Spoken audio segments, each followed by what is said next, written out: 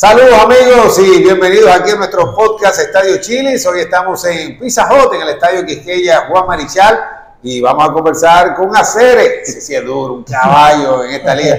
Hay que buscarle como un apodo a Raúl Valdés. ¿Qué tú dices, Víctor Valle? Hay que buscarle algo, sí, porque la verdad es que el hombre no, no se acaba. Él dice que va a tirar 10 años más. Bueno, 9, porque ya se acabó, ya esta temporada no, no cuenta, o sea que le quedan 9 años. ¿Va a romper el récord de Guayubí? Parece, dice él. Guayubí Olivo ganó 86 partidos. Esa es la marca de nuestra pelota, así que Raúl anda detrás de eso. Sí, él que terminó con 56, yo creo que si se lo propone lo puede hacer. Pero mi gente, gracias por acompañarnos en esta entrega, la número 43 de Estadio Chilis Podcast. Gracias por de verdad por darnos nuestro espaldarazo, nuestro apoyo siempre. Recuerden compartirlo en sus grupales, en sus redes sociales, darle like. Y hoy vamos a conversar con el hombre que no, hay, no necesita presentación, Raúl Valdés, hermano. Hacer. Gracias, gracias, gracias. Ey, está fuerte el hombre.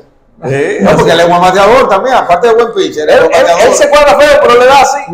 Oye, ¿cuántos errores tú tienes de, de, por vida? No lo sé. En todas las ligas que tú vas a participar. Más de 10, tengo más de 10. Ah, cogí ahí. Sí, no, lo he visto en Japón. En la liga de verano aquí también, lo he visto dando sus Sí. sus errores también. En México, una vez, una liga, la liga de, de Norte Coahuila, cuando no pichaba era cuarto bate. Pero bueno, que hablando de eso de jonrones, si sumamos todas tus victorias, incluyendo la de aquí, en postemporada, en Estados Unidos, en todas las ligas que tú has lanzado, ¿cuántas serían más o menos? No, no tengo idea. eh. más, de 200 pienso yo, pero no. Epa. Aunque yo, he sido, yo siempre he sido un lanzador de. Se me cuesta trabajo ganar. Aunque lance bien, pero me cuesta trabajo ganar. Poco apoyo ofensivo. Si tú te pones a ver, por ejemplo, su número de serie regular, él tiene casi la misma cantidad de victorias y derrotas, pero una efectividad de por debajo de 3. eso te dice que no recibe apoyo. No Sí. Eso ha sido su historia. Es frustrante eso, Raúl. A veces un poco, a veces, porque a veces prácticamente estoy acostumbrado desde Cuba a lanzar bien y dejar los juegos 1 a 1, 1 a 0. Incluso el juego que dejo ganando y se lo empatan a relevo, entonces eso también eh, he pasado por muchas cosas así. ¿Es verdad que una vez en Cuba tú hiciste como 200 picheos? Lo más que hice en Cuba una vez fueron, lancé 14 innings y tiré 180 picheos.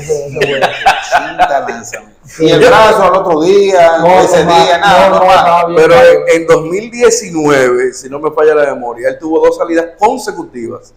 Una de 135 y otra creo que fueron 130 y algo de picheo también. 139. Exactamente. Wow. En salidas consecutivas. El, si mal no recuerdo, una fue con el escogido y otra fue con el águila. Esa no debe sorprenderte. Sí, sí, lo que yo estoy ya acostumbrado a eso. Que por cierto, ese día, de las ocho entradas, solamente un hit frente a los Leones, yo pensé que tú ibas a salir en el noveno. ¿Qué pasó? Que no saliste a buscar esa No, blanqueada. yo quería, yo quería, pero el manager me dijo que Abad tenía que pichar, tenía el cerrador, tenía una semana que no pichaba y, y tenía que pichar y entonces me dijeron que, que Ese día. Santo Jode, que va a tener que Que visitar. tenía que pichar. sí. ¿Y qué tú le Y dijiste? no, lo bueno era que yo tenía, yo estaba buscando los libros, Yo la última blanqueada, buscando en la computadora. ¿quién? Y las últimas juegos completos habían sido los dos Valdés. Exacto. César, él había sido el último, y los previos tres o cuatro había sido este señor. Ey, que se enfrentan hoy, por cierto. Hoy que estamos grabando, Sí. juegan las estrellas frente al Licey. Para ti te ha tocado ya varias veces enfrentarte a, a César. Yo me he enfrentado dos veces este mismo año con los toros Ah. y el año pasado una vez contra los gigantes. Yo estaba con los gigantes. Y, y ha ganado siempre. Las tres le he ganado, sí. Las Sí, tres las tres. El- Este año con los toros le ganó los dos. Dos veces, Sí, sí. eso sí lo recuerdo. Sí. Y una fue fácil, fue una victoria que. Como 3 a 2 Sí, ganamos. ese, ese juego fue, se hicieron, hicieron muchas carreras. Raúl, tú tienes, te decía antes de que empezáramos a grabar, que estaba cansado, te- tengo tres años viéndote con otro uniforme en, en el round robin. Eh, no, no puedo dejar de preguntarte, eh, ¿qué, qué, qué tan doloroso es para un jugador, que sobre todo en el caso tuyo, porque hay muchos jugadores nuevos que quizás no, no le pase lo mismo, pero tú que tienes tantos años en la romana con los toros, no asistir a un round robin o unos playoffs con tu equipo original debe ser algo, un sabor dulce, ¿verdad? Sí, sí, es un poco incómodo, tú sabes, tú teniendo muchos años en la liga y con el mismo equipo, a que tú tenemos ya prácticamente tres años yendo con un, un equipo diferente, eh, va a estar un, un poco incómodo, tú sabes, uno es profesional y, y hace el trabajo donde quiera que sea, pero Claro. a uno le gustaría ir con, con su- con su equipo original a, a, a playoff. Tú sabes que hablando de eso, tú cuando lances ya hoy te vas a unir a Francis Ley Bueno, otro cubano, eh, como los únicos lanzadores que han participado con los seis equipos. Tú sabes que yo, buscando, encontré otros peloteros de ofensiva que han jugado con seis equipos, pero incluye a los Caimanes. Los Caimanes, no incluye a los seis equipos actuales. Exacto, que es Henry Mercedes. Sí, receptor. Y Francisco Cabrera también. Sí, sí, lo recuerdo. ¿Qué, significa eso para ti, tener, señores, ese privilegio de estar ahí con los seis equipos, verdad? No, yo pienso que sí, uno se siente contento, tú sabes, de haber jugado con, con los seis equipos de la liga y, y, y gracias a Dios las cosas se me han dado y, y, y de poco tiempo que llevo aquí me han tratado bien, no me puedo quejar de ninguno de los seis equipos, tú sabes, nada, me han tratado bastante bien en, eh, en el equipo que llevo y, nada, y gracias a Dios todavía seguimos dando la batalla. ¿Cómo tiene un gancho? Sí, no solo porque... Un gancho, bueno, es que sabe. Vamos a sacar los toros. De esos equipos que están seleccionados en el draft de regreso, ¿con cuál tú te has sentido mejor? Con todo, no tengo equipo No cayó en el gancho. No tengo equipo específico, todo, como dije, me han tratado bastante bien, no me puedo quedar por ese lado, eh, siempre un trato muy bueno y, y, por ese lado no tengo quejas de ningún tipo. Mira, tú, si nos ponemos a hablar de récords, no acabamos hoy. Récord de victorias. Este, este round robin pudiera convertirte en el dueño absoluto de victorias. Pudiera dejar atrás al difunto José Lima, que Dios lo tenga en gloria.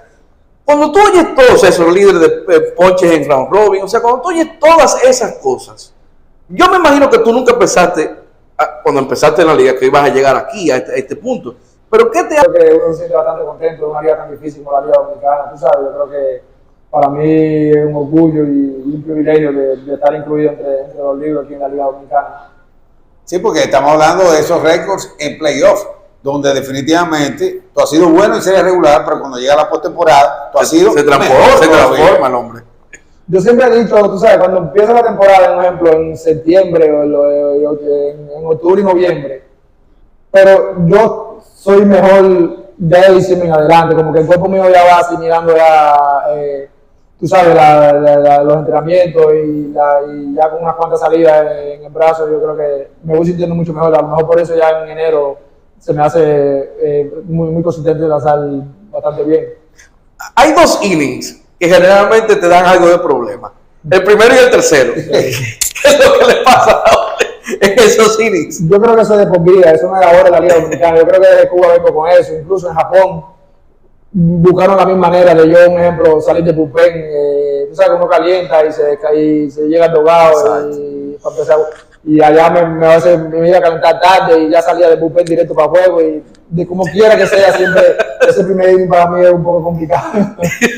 Mira, Pero el tercero también. Es como algo, yo creo que algo psicológico ya, ¿verdad? No, porque ahora no pienso en eso, en mi cabeza no pasa ninguno de esos innings, tú sabes. Yo simplemente trato de, de sacar mi out, pero se me, se me, se me enreda. Y, Como yo siempre digo, si usted no lo aprovecha, Sí. guayó, porque el hombre aprieta, se pone más difícil todavía mientras van pasando. Exacto, soy de los pitchers que sí, exacto, que del cuarto para allá que ya yo me- siento bien. Pero es porque, por ejemplo, ya tú tienes más confianza con los pichos que te están funcionando ese día, el rompiente se mueve más, ¿qué es lo que pasa? se ponen mejor los picheos, incluso no soy lanzador de poder, pero del cuarto para allá la bola como que me, me, Ok. un poco más.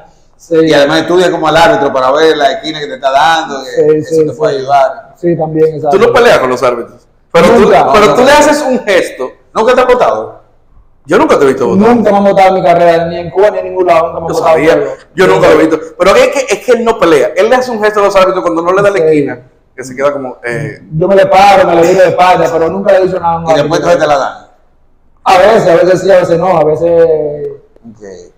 Eh, tú sabes, son cosas de ellos que ¿Cómo fue ese ajuste tuyo, Raúl, de tirar en las 90, 91, 92, ahora eh, estar en los 80, pero tener el mismo éxito? Porque no todo el mundo puede hacer ese ajuste. Mira, yo siempre he sido un pitcher de. Nunca he tirado duro. En mi carrera yo de Cuba incluso nunca tiré duro, siempre he tirado ochenta y pico. El- los picheos míos han sido lo que ha sido bueno. Yo tenía buena curva, buen cambio, tú sabes. Y lo principal es el control, que siempre he tenido buen control. Yo creo que eso es lo, lo que ha sido lo fundamental en mi carrera. Pero ¿qué era lo- lo- la velocidad máxima que tú topabas? 91, 92, por ahí. Yo una vez tiré, ajá, exacto, pero muy pocas veces. Sí. Pero normalmente, normalmente 8-9, 90, Sí. 8-8. Siempre me he mantenido por ahí. Nunca he sido un pitcher de, de poder. Mira, ¿por qué que no te gusta que te toquen la bola? A mí, no, Sí. a mí me la puede tocar, yo no te ¿Te puedo tocar sí. Pues me dijeron que No, a uno no, le no. gusta que le to- se, se incomoda cuando le No, tocan no, no, no, yo no. Es buen no. filiador. Sí, Sí, buen no, filador. yo no, yo no. ¿Eh? A mí me la pueden tocar, los nueve me la pueden tocar. Y no Que si yo le digo ya, le digo abajo, lo meto abajo, si yo lo puedo llevar bien. Él, bueno, hubo una, un- él, eh, de los raros errores que cometió fue un- uno con, con las estrellas, que le tocaron a todo el mundo este año.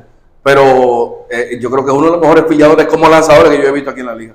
Oye, 46 años, ahora. Sí. Y tú te preguntas, ¿y cómo todavía siguen lanzando? Porque normalmente, y en esta época todavía más, ya tú ves que incluso en Grandes Ligas hay peloteros con 30 años que están fuera de- del béisbol. Pero ok, consiguen trabajo en otras ligas como ha pasado contigo. ¿Qué es lo que hace Raúl Valés? ¿Cómo se prepara? La gente quiere saber cómo se mantiene ya a, esa edad, porque uno que tiene una edad parecida, ya yo hago al- algún otro ejercicio y al día siguiente me duele todo. No, yo creo que la preparación ha sido fundamental, tú sabes, yo todavía estar lanzando con la edad que tengo. Eh, corro mucho, voy mucho al gimnasio, yo, eh, descanso bien en mi casa, no me trasnocho. Yo creo que eso es fundamental, tú sabes, a la hora de tú estar saludable también. eh. yo creo que lo principal es eso, la dedicación al terreno. Yo en la práctica no relajo con eso, no tengo día libre, yo practico todos los días, cada domingo. Y voy desde las 7 y media como hasta las 11 de la mañana, estoy en el play. Pero eso está en la genética también de ustedes los cubanos, porque Sí, sí, desde Cuba uno va, entrena mucho, de allá igual que se, se, se, se lanza mucho también, mucho picheo, y ya uno viene de allá con eso. Y tu alimentación, yo sé que tú eres arrocero, pero dime tu alimentación en un día normal. No, yo como arroz todos los días, eh, dos veces al día, con habichuelas, y lo único que cambio es la carne, pollo, carne, pescado, los varios, pero siempre mi arroz, Arroz. sí, tiene que estar ahí. Y tú no te das tu traguito de vez en cuando. A veces sí, sí, un día lo puedo dar, yo bebo de todo, porque yo bebo de todo, pero un día eh, Porque yo recuerdo a José Lima decía que a él le gustaba darse un traguito el día antes de lanzar, porque amanecía al día siguiente como más, con más fuerza. Que Cuando él se acostaba muy temprano, como que el cuerpo amanecía como así, como Se cuajaba. se cuajaba. No bebo el día antes, no. Si yo si, bebe- si bebo, bebo el día que lanzo o al siguiente día. Pero un día antes no me gusta beber casi alcohol. Y porque la preparación de este hombre es diferente a los pitchers cuando van a lanzar, no hablan con nadie. Podcast, Sí, yo llega a por avanzar. eso, por eso lo hicimos con él. Porque él incluso se pone, hace una tertulia, una peña ahí con nosotros en el Y con el terreno. contrincante. Yo Sí. llego, si yo llego y me voy para el terreno hasta igual a las 7 y media, hasta la, faltando 10 para las 7, que voy y me cambio y salgo otra vez de una vez. No me gusta estar mucho tiempo en el clubado sentado. Increíble eso. Yo, yo creo que tú ni lo que tienes porque es que tú, tú, tú te la pasas Yo afuera. tiro un punto ahí me voy para afuera. Sí, Sí, porque tú vienes solamente al estadio Liga que te toca lanzar. Sí, solamente ese día ahí. Ya. ¿Por qué San Francisco de Macorís? Tú vives en San Francisco, quizás no mucha gente sepa eso. Yo, eh, cuando llegué aquí a Dominicana, yo viví dos años en Santiago. Y el primer año mío fue en Los Gigantes, de 2003. Entonces ahí, ahí conocí a mi esposa, en el 2003. Y en el 2005 me casé. Y me quedé viviendo en San Francisco. Mi esposa estaba estudiando eh, mercadeo y como estaba en la universidad, eso me quedé mismo en San Francisco. Ah, ya. Lo amarraron en San ¿Tienes, ¿Tienes hijos que, que juegan pelota? No, no, ninguno. Tengo tres varones y ninguno juega pelota. Ninguno juega. ¿Qué edad ¿Por tiene? El chiquito tiene 8, el del medio 13 y el grande 16. Fútbol, juego. Hay dos, dos, dos más pequeños, de 8 y de 13 juegan fútbol. Y tú nunca le dijiste, acá, no quiero jugar Ellos pelota. antes, ellos papá". antes practicaban y después un día en las vacaciones del colegio, como julio y agosto, como nos fuimos para Cuba y eso, no, no dejaron de practicar, entonces cuando regresamos ya no, no querían volver a, la- a la pelota. ¿En qué año ya tú te nacionalizas como dominicano? 2008, 2008. caí, caí en el drag, que me agarró el escogido. Exacto, que ese año tú tenías problemas, en ese momento era, estaba como lesionado, ¿no? Era en el 2008. eh. 2007, tuve una pequeña 2007. lesión, pero fueron de dos semanas. Y yo, mira, hay dos casos con los Valdés. Raúl, que en ese momento tuvo ese problema y salió del escogido, que debió quedarse ahí en los Leones. Qué bueno. Y el caso de César. Señora, recuerde que César hace unos años hasta lo, lo prestaron para no votarlo, lo enviaron a otra liga, estaba tirado por Venezuela o Puerto Rico, no estaba aquí. Y en los últimos años los caballos de esta liga han sido los Valdés. Pero yo con el escogido no lesionado, eso fue con los gigantes en 2007. Ok. con lo- incluso con el escogido, de- yo creo que el, el- piché poco, no me fue, los pocos que piché no me fue tan bien, pero puedo decir que fueron, fue uno de los años que más duro he tirado en la liga. Ok. ¿Y por qué? Qué raro que no te retuvieron entonces. No sé, no, no- ni idea tengo. ¿Cómo llegaron los toros? ¿Quién te llama? Terminé ese año ahí en, en, en, en lo del escogido y el siguiente año, como en agosto, o sea que los equipos empiezan a votar gente, Sí. me dejaron libre y entonces hablé ¿qué fue? Eh, con, con Jan allá a los toros y me invitó Con entrenamiento. Julián ya. No, con, Con con el gerente, con Jan. Jan Giraldi. Jan Giraldi. Ah, Con Giraldi. Giraldi, era gerente ese año. Ok. Y me llevaron a invitar a entrenamiento. Incluso tampoco empecé arriba en el equipo. Empecé en reserva, empecé abajo. ¿Y qué- cómo llegó la oportunidad? Yo eh, seleccionó Edwin Brito, el zurdo, y tiré de relevo. Y tiré, creo que fueron un inning de relevo. Y entonces después, la siguiente vez que lancé, me pusieron a abrir. Hasta el sol de hoy. Wow, impresionante. ¿Cuál ha sido para ti el, el juego, el mejor partido que tú entiendes que ha lanzado aquí en la liga o, o el más importante? Bueno, muchos, exacto. difícil de- Uno de- ellos fue el juego decisivo contra el escogido aquí. Ah, lo del juego 9. Tiraste con dos días de descanso. Sí, ese fue del Águila, pero no con los toros, que fue un juego decisivo, que estamos ganando 4 a 1. Que, Ah, sí, que el- el escogido llenó la base con El, una. el que dio Valespín, el batazo por la raya, sí. Ajá, Yo- contra- Contra Tyler Alexander. contra- Sí. Exacto, Le dio un triple. que- Sí, para ir a la final. Ajá, para pasar. sí, Sí, yo recuerdo el fly que atrapó allá, que eh, estaba Hunter Pence. Pero que lo atrapó de Oscar. De Chris Robertson. Que yo Sí, al, al sol de hoy yo creo que el Pérez se le iba a caer. No me le llegaba la bola, no me le llegaba la bola. Ay, Yo Dios que te mencioné ese juego 9 porque tú abriste dos días de Dos descanso para sí, con el las águila, con el águila. Y yo recuerdo que ya cuando te saca Felipe Fermín, tú tenías más de 100 picheos, pero si era por ti, tú seguías. ¿eh? 118. Con dos días de descanso, yo había tirado, hacía un día atrás, dos días atrás, 127.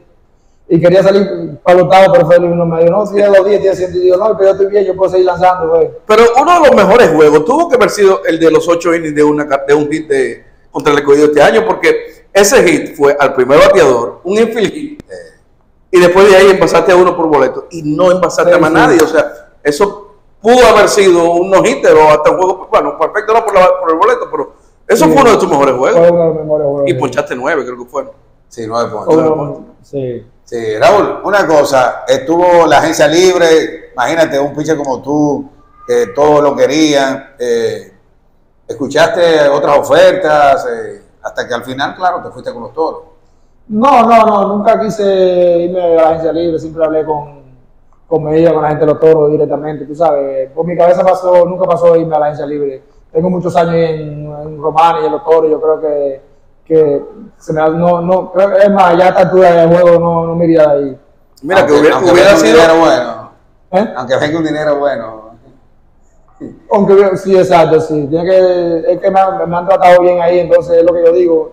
Tengo muchos años ahí, tú coges para otro equipo y que aventurar porque tú vas a llegar nuevo a un equipo que, que Sí, tú pero tú sabes. estás acostumbrado porque tú lo haces en round robin con otro equipo. Sí, sí, sí. Yo lo hago en la Robin, pero es una temporada corta.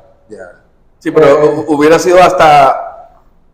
No es descabellado pensar que, bueno, él vive en San Francisco. Los gigantes a lo Los mejor le hubieran interesado, pero sin embargo, fíjate, decidió quedarse. No, yo preferí quedarme en Romana ahí.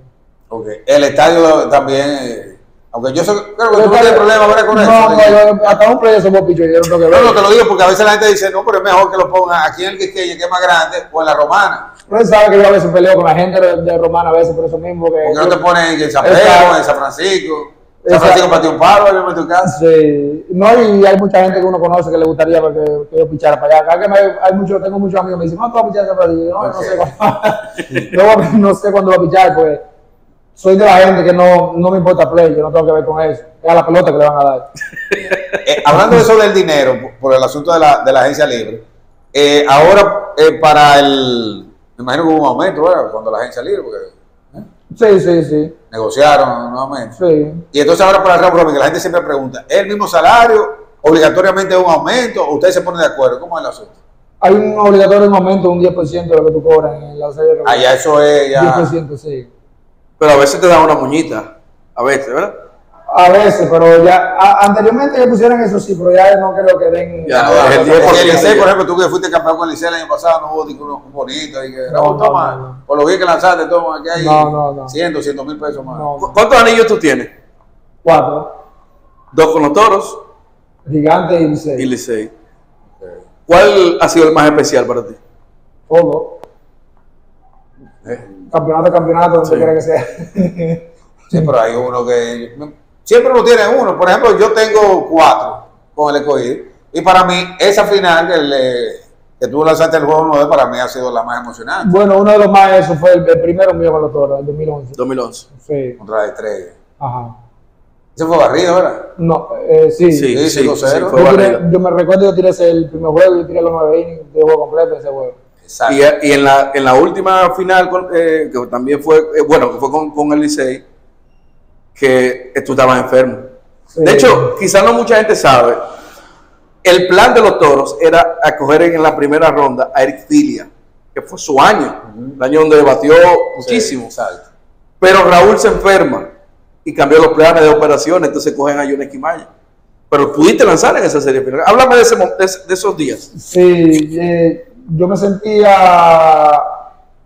a veces me daban dolor en el pecho y tuve que ir a médico, entonces tenía la, la, la frecuencia bajita y el doctor me paró, no podía hacer ningún tipo de, de- de fuer- de fuerza hasta que no me hicieron unos estudios. Y me hice unos estudios ahí y me, ya me dieron el visto bueno de, lanzar. Yo lancé, creo que fue el Jugó cinco, creo quinto juego, creo que fue, sí, quinto juego. Y así fue que yo pude lanzar, pero estaba, me tenían para, incluso no me sentía, no me sentía nada, simplemente, incluso cuando ganamos aquí, que yo llego a Romana, me sentí mal también y tuvieron que llevarme por emergencia. Esa misma noche ¿Verdad era, que sí? eh, en, en el Central Romana. A lo Michael Jordan en la final contra Utah, así, ¿verdad? No, yo, yo he tirado muchos juegos enfermos, la gente no sabe, pero yo he tirado muchos juegos enfermos. El juego, el juego de los gigantes, la final en San Pedro. Yo salí de la clínica con neumonía, yo estaba interno con neumonía, me fui a tirar aquí el, el juego que quedamos campeones en- Exacto. en San Pedro. y- Ganaron esa vez. Sí, yo recuerdo que se hablaba de eso. Entonces, tu partido eh, más difícil, porque uno que te dolió, que tú dices yo debía haber ganado, o que también, porque tú no peleas con los árbitros, pero que con el manager te sacó y que tú hayas discutido. con- Ah, pues eso es todo lo que lo saca. Cada vez que lo sacan, Cada vez que el madre lo saca, el pelea. Bueno, mira, este año, el, el- cuando nosotros estuvimos pegados, creo que era un y medio que estábamos de, de, de aplicación, un juego en Romana, que fue con. que teníamos que, el- teníamos que ganar ese juego. Al juego contra el escogido que te dieron los honrones, tú dices, en el primer inning. Fue ese, sí. El primer inning te creo- sacó Caminero, a Yo creo que fue ese, sí, fue un juego que me, me dolió bastante, porque si nosotros ganamos ese juego, ya nos pon- nos poníamos como a medio a juego. medio de- juego. Sí, del- del cuarto Yo lugar, estaba ya sí. ese día, sí. ese- Exacto, sí, fue uno de los juegos de este año que más, tú sabes, uno...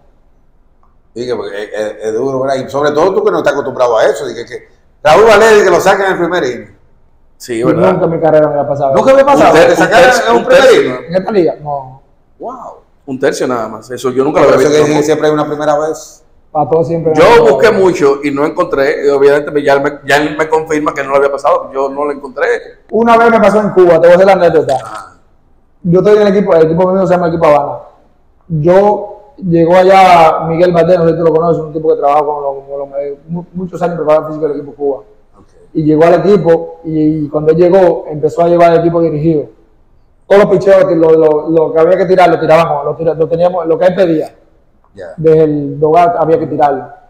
Llega eso en septiembre, en diciembre, antes de la pausa del fin de año, yo tengo 0 y 7, 0 y 7. no había ganado todavía. Wow. Abro un juego contra Santi Espíritu, que estaban, estaban los Burriel ahí, Ok. y me hacen 5 en el primer inning.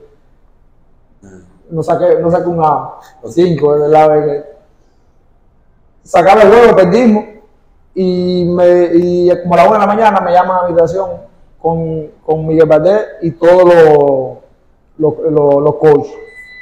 Que qué estaba pasando, que yo, si soy buen pitcher, era el segundo pitcher del equipo, no, no, estaba, no estaba ganando. Entonces, entonces yo le dije que lo, lo que pasaba era que yo no podía pichar con nadie, que todo lo que yo había hecho en Cuba y todo lo que yo he hecho es pichando yo solo, por mi Ah, mente, por, por, tú sabes, por Ajá, lo- exacto. Entonces, Decisión tuya. Sí, exacto. Parece que eso le molestó a, a- a Mi- a Miguel y me dijo, ah, tú no puedes pichar con nadie. Vas a abrir mañana. Me dijo que iba a pichar el otro día otra vez. Fue a la una de la tarde, era la, la reunión. Y vas a pichar solo. Y trata de pichar bien porque te voy a bajar. Me iba, a- me iba a bajar de la liga. Y yo, no, está bien, no hay problema. Al siguiente juego, el siguiente día, yo, en el mismo equipo, a la una de la tarde, me pusieron a abrir otra vez. Me tiré innings en blanco. Y ahí ya de en adelante te dejaron a ti que fuera tú. Tenía que 6 y siguiera. 7, exacto. Terminé 6 y 7. Ese año terminé con 9 ganados y 13 perdidos. Mira, Wow. increíble. Al siguiente año lo vuelven y lo ponen de preparador físico del equipo Cuba. Ajá. Y me llevan a, entrenami- a entrenamiento del equipo Cuba. Y tiro en toda la percepción, tiro 33 innings, con dos carreras en, en 33 innings. Me dejó fuera del equipo Cuba. Ahí fue que yo decidí irme de Cuba. Ah, Te no, pasó factura, loco. Ahí, ahí fue que yo decidí irme de Cuba. Yo no, yo me voy y no voy a estar más aquí. Fue que decidí irme de Cuba. Fue difícil para ti eh, salir de Cuba. ¿Y cómo Sí, llegaste? sí. ¿A dónde llegaste primero? Yo llegué a Montecristi. Yo, duré- yo, yo vine en un- una lancha. Yo duré cinco días en el mar. Wow. Y ¿Solo viniste? Sí, y caminé una isla como tres kilómetros con, con, con el fango por la rodilla, con, con un tanque de gasolina en el hombro y agua. Fue difícil. ¿Y tu familia? No sabía nada de mí hasta que yo llegué aquí a Dominicana. Y después entonces pudieron ellos venir para acá. Sí, sí. Pero cuando tú No tú llegaste aquí, ¿quién te recibió? ¿Cómo fue ese, tú tenías ya todo planificado aquí? Más o menos. Yo me, yo me quedaba en San, me quedé en Santiago en casa de unos cubanos que vivían ahí. Ah, pero tuvo Ya tú tenías en ese momento. una travesía de cinco 25. días. Muchacho joven. ¿Cuánto? 25 años. Y ahí te, te salí- firman entonces prácticamente de una vez. Al siguiente año, 2004, yo jugué la Liga Invierno sin firmar. Ya. 2003. Eh, los cachorros fue el primer equipo. ¿verdad? Sí, Los cachorros, sí, fue el primero que te, te firmó. Chicago. Mira, para que tú veas, son cosas que a veces la gente no sabe las dificultades que ustedes tuvieron Yo- para poder yo ya. crucé, la gente no. Eh, Radameli siempre me, me, me dice relajando que él no pelea conmigo, ¿sabes? Relajando porque yo crucé un río con cocodrilo. Yo crucé como de decir de, de home a segunda, un poquito más para allá en la grama, una laguna a las 3 de la mañana con cocodrilo, Ay, mi madre. Ay, mi madre. para poder, para poder salir de Cuba. Y me imagino que después aquí para tú adaptarte ya, ese proceso fue difícil. Fue difícil lo primero, sí, fue difícil. Y O sea- cuando ya llegó finalmente la muñita, que ya tú te veías bien, que pudiste comprar tu casa, todo eso. Yo, yo empecé a, a estar un poco mejor después que jugué invierno. ¿sabes? Yo cobraba en aquel tiempo, yo cobraba 3 mil dólares mensual con los gigantes. Y más o menos ahí uno. Porque después yo firmé con Chicago, pero Chicago yo no firmé con mucho dinero. A mí lo que me dieron fueron 10 mil dólares. Ok. Y así uno batallaba y, y tiraba para adelante, que era algo. A lo, a lo primero no tenía nada. Después tenía que depender de otra gente. Claro. Tú sabes que yo creo que nosotros vamos a tener que hacer un podcast luego hablando de todo eso, con más tiempo, De toda esa de travesía. toda esa travesía, porque eh, hoy nos hemos enfocado como es natural en hablar de béisbol, pero yo creo que esa parte de esa travesía y tomar la decisión, yo creo que es algo que, te- que deberíamos tocar más adelante, porque ya tú tienes que lanzar, o sea, no podemos quitarte mucho tiempo. Aquí vamos directo para el juego. ¿Eh? Ah, no, No, eso- lo- bueno que él lo dice relajando, pero es verdad. Está bien, pues entonces ya para ir terminando. Cuando tú comparas la Liga de Cuba con la Liga Dominicana, oye, una Liga Dominicana que ahora tú ves el line de los gigantes, tiene a Marcelo Zuna, que José Sirí, que Jamie Candela, uno detrás del otro, que Fernando Tati, que tú José Ramírez. Sí, no, la liga, este año han jugado mucho Grandes Ligas. Yo creo que la liga está. Los equipos están muy buenos, todos los equipos están bastante buenos. Y comparación con Cuba, En mi época, cuando yo jugué, a lo primero, bueno, lo primero no, los, los seis años que yo jugué era, era bastante difícil, porque había un Leomar Linares, Antonio Pacheco, Oreste Quindelán, y yo cogí dos años de aluminio, Guay, de base de aluminio. Yo era, en aquel tiempo yo fui el, el segundo zurdo que más ganó con aluminio, gané 15 juegos con aluminio. Aluminio, Aluminio, esos palos, mira, Sí. chacho. Y para un jugador del infield también, que esos roles llegaban a mil. Oye, el piche cuando le dan un patazo también. Era difícil, que los dos primeros años. Después en el 99, cuando yo empecé en el 96, en el 99 cuando fue Baltimore a, a Cuba, Ah, sí, Ah, sí. ya ahí pusieron el bate de madera. Ahí fue que empezó el bate de madera en la Liga de Cuba. Ok. Mire, ¿cuál ha sido el más difícil? A la gente siempre le gusta saber, a los dominicanos, el bateador que más trabajo a ti te ha dado. Ah, hay muchos. De los veteranos, sí, un ejemplo de los veteranos, eh, Navarro, que está ahora con mi Jamaica, equipo. sí. Eh, te puedo mencionar el Junior Ley. Pichito. No, no, no, no. No, Pichito eh. no. Pichito, Pichito un año me dio uno, Eh. el año, el año de pasado creo que fue. Me, me batió. Porque le he batido mucho siempre a los toros. Exacto, pero no, no. Pero no necesariamente. Ah, pero mira, hablando de eso, los otros días que habla con Hansel Alberto. Con Hansel Alberto también. eh, ha cogido Hansen, lucha. Hansen, sí, exacto. El mismo Siri, tú sabes, son peloteros de- que uno, hay unos cuantos, porque uno tiene muchos años en la liga. Y el hijo tuyo. El hijo tuyo que, que tú has dominado y tú dices, no, yo soy tu papá, tú eres hijo mío. ¿Eh? Para mencionarte, ¿cómo te puedo decir? Hay, hay muchos peloteros que uno la ha sacado fácil, como quien dice, pero, Dime dos o tres. Bueno, te apures que pero no me viene a la mente ahora. ¿no? Juan Francisco, por ejemplo, ¿te- ¿tú le, le- sacabas mucho agua? Sí, a Juan Francisco le sacaba así, exacto. Si le sacaba o sea, me ha dado, incluso me ha dado, yo creo, hasta un par de jorrones. De, de esos tanto que él tiene, me ha dado como dos. sí. Bueno, nada. Yo creo que terminamos aquí con Raúl. Sí, por ahora, dice, por ahora. De su vida, que eso es interesante. Pero sí, vamos a llegar un día a San Francisco para que nos brinde a comer arroz con habichuelas. Ah, mira, también. Ya, sí, cuando Pero quiera. ¿arroz con la temporada- habichuelas con qué? Con lo que Con lo que usted quiera. Ok, lo que- Después del programa arrancamos para Arrancamos allá. para allá. Y Oh, ya. sí. Ah, no, pues mira, eso es. Eso. Hay un, un juego que le escogió de allá, que nos quedamos después a ver. O después de la temporada muerta, puede Ah, también. también. sí, sí. Pues eso, eso pudiera Es ser. Pero nada, gente, eh, gracias a Raúl por, por, por su tiempo.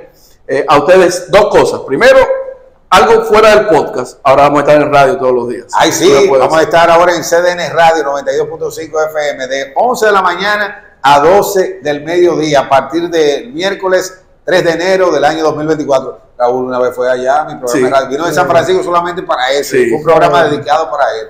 Que Yo lo recuerdo. Hacer de lo mío, de verdad. yo lo, lo recuerdo, sí. Eh, ese que ya lo saben, estaremos todo, ese horario me encanta, yo te lo había dicho. Sí. Y a ustedes, este podcast, compártanlo, denle like en sus grupales de WhatsApp, en sus redes sociales, por favor, compártanlo. Y sobre todo, ese dedito para arriba, denle para allá. Gracias a todos por la sintonía esta semana. Hasta la próxima. Bye, bye.